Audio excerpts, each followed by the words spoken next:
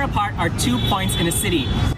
Sikat sa TikTok dahil sa galing sa mathematics.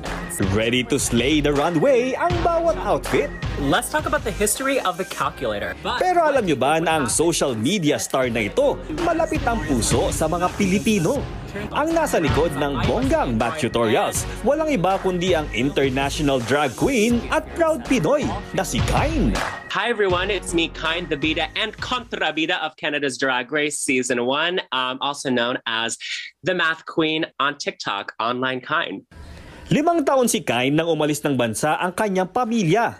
Ayon kay Kain, hilig na niya ang math noong bata pa siya. Kaya naman, nag-excel siya sa eskwela. Napabilang rin siya sa season 1 ng sikat na RuPaul's Drag Race Canada. I think math was always my favorite subject. Then when I was in high school, I didn't really know what you could do with math. All I knew was that I was really good at it and that I really enjoyed it. Hello, salamat sa tanong. I started just making a, a uh, videos of me talking about math and drag just as a joke because I thought it would be funny and really random. But then people really liked it. Sa ngayon, 1.2 million na ang kanyang followers sa TikTok. Kaya mula simpleng math problems Let's talk about the history of infinity. hanggang sa komplikado. How can you add together infinitely many numbers and still get a finite sum? When I think May of solusyon at sagot si Kyne. Payo niya sa mga kabataan.